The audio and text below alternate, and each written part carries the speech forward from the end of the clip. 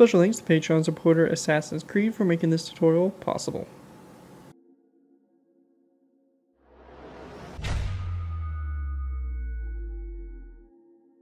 Hello ladies and gentlemen, it's Garrett here bringing you another Minecraft Modern Warfare vehicle tutorial. In this tutorial we'll be going ahead and building the M997 ambulance. The M997 ambulance is a uh, modified Humvee uh, and is part of the Humvee family.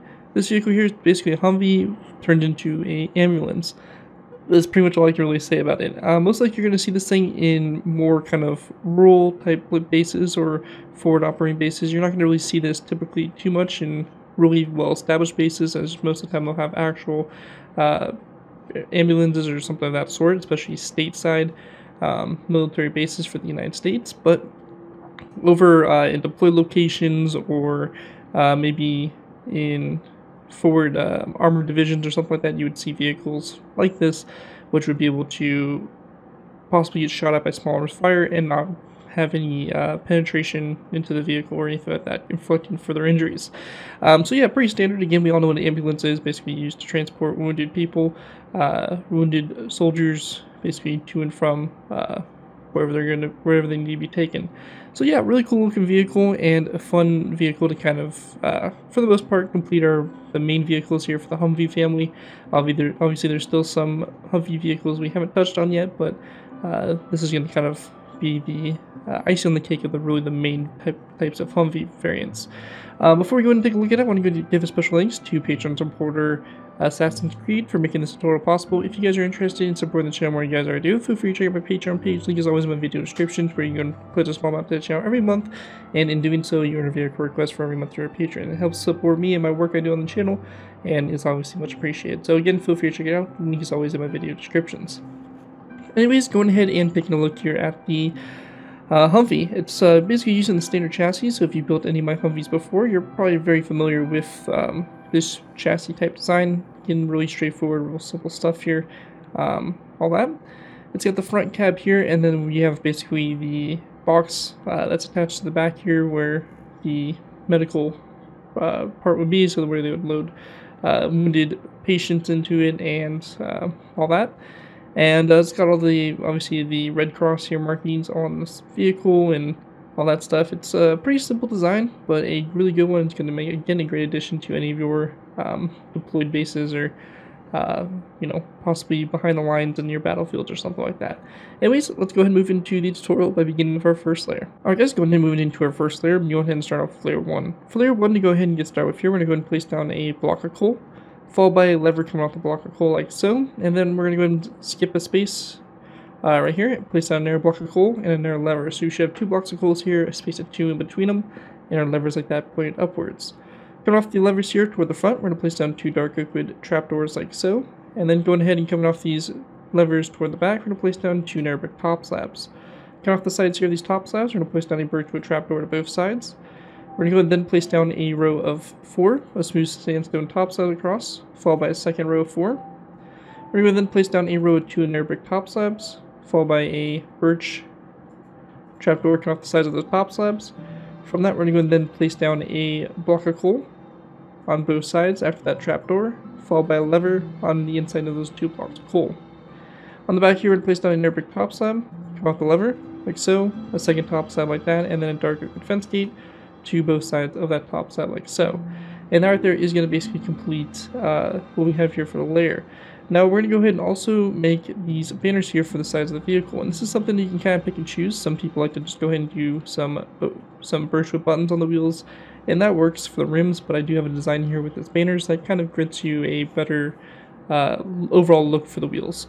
So uh, with that, let's go ahead and move into showing you guys how to make those banners. Alright guys, so moving into making these banners. For these, we're going to be going ahead and making the rims of these banners, or basically the wheels here, a dark gray, which a lot of these do have. You can also use yellow if you do want to try to get a clo color closer to the, the uh, tan color of the vehicle. But again, that's up to you guys. Um, if you're making this green, also something you can do. Uh, you can use green, a green banner. So whichever color banner you want to use, you can go and use um, for it. But we're going to be using gray. We're going to go and place down a loom. Go into our loom. We're going to go and place on the green banner in our loom and black dye. We're going to go and select the line that splits our banner in half here of black, and then we're going to go and then do the black border all the way around like so. After that, we're going to go and then uh, take this bear and we're going to go and place it down on each one of these uh, blocks of coal like this on the side. And you get a nice design here that basically adds a little bit more of a rim to our wheels and makes them look a little bit more like wheels. Anyways, that right there is it for layer number one. Let's move on to layer two. Alright guys, going ahead and moving into our next layer, we have layer number two. For layer two to go ahead and get started with here, we're going to place down a row of two of looms on top of these two, uh, two uh, levers, just like that. We then want to go and place down a smooth sandstone upside stair here to both sides, and then coming off those smooth sandstone stairs, we're going to place down an item frame. Oops, I'm going to grab this again. And going to place an item frame coming off the sides here of these two stairs, and in those item frames, we're going to place down some snowballs. On top of these dark oak trapdoors, we're going to place down two dark oak fence gates across, and then a end rod to both sides. We're going to go ahead and place down a row of four of uh, smooth sandstone full blocks across, followed by a row of two of black concrete here in the middle, and a birchwood plank to both sides. Now this space right here where this black concrete is, is pretty much your interior of the vehicle, uh, or at least for the front cab.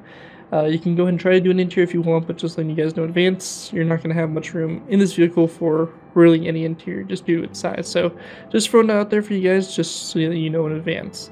Anyways, going ahead and continuing on, we're going to take our smooth sandstone, we're going to place down a row of four across, with a tripwire hook to both sides. We then want to place down a row of four of smooth sandstone blocks across, this time with a birchwood button on both ends. We're going to place down a row of two of smooth sandstone full blocks across, uh, smooth sandstone upside down stair to both sides, and again a row of four of smooth sandstone full blocks across again, followed by a acacia wood button on both ends like that. All in the back here, we're going to place down a row of four of sandstone upside down stairs. We're going to then place down a birchwood sign coming off the two stairs on the corners here. We're going to go ahead and also place down an item frame and a red stained glass uh, block in those item frames like that on the same blocks or the same stairs there on the corners for the rear brake lights. And once you have that all complete there, that is going to wrap up what we have here for layer 2. With that, let's go and move on to our next layer, layer number 3. Alright guys, on moving on to our next layer, we have layer 3. For layer 3 to go ahead and get started with, we're going to go and place down our birchwood trapdoors across these two looms in the front here, followed by a row of 4 of birchwood trapdoors directly after that. We then want to place down a row of 4 of light gray stained glass full blocks, followed by light gray stained glass pane, coming off both sides here, and a dark wood sign coming off those stained glass panes for the side mirrors. After that, we're going to place down a stripped birchwood log here on both sides, followed by a row of two smooth sandstone across the middle here, and again a stripped birchwood log to both sides, and again a smooth sandstone block in the middle. And uh, make sure it's actually stripped birchwood and not the logs, so you don't want the round log texture here on the top. Uh, anyways, after that's done, we're going to then take our smooth sandstone and place down a row of four all the way across, followed by another row of four with smooth sandstone. And then on the back here, we're going to place down two stripped birchwood blocks there, and then a sandstone block in those two corners. We then want to go and go to the sides here and place down a birch button on the side of this first birchwood uh, wood piece, and then also a stone button or a birchwood button on this block here. Same thing over here on this side as well, just like that. And also on the back here, we want to go and take our tripwire hooks. We're going to place down two tripwire hooks on coming off those two blocks like that. Anyways, that right there is it for layer 3. With that, we're going to move into our final layers here, which are going to be basically layers 4, 5, 6, and 7. So with that, let's go and move into our last final layers. Alright guys, moving into our next layer, we're moving into our final layers, layers 4 through 7. For these layers, to go ahead and get started with here, we're going to place down a black concrete block here on this light gray stained glass block, and then a smooth sandstone block right next to it. Coming off the black concrete block, we're going to place down a letter, and then coming off the smooth sandstone block, we're going to place down a birchwood button. We then want to place down an upside down sandstone stair to both sides, like so, and then around those stairs, we're going to go ahead and wrap around some birchwood signs like so.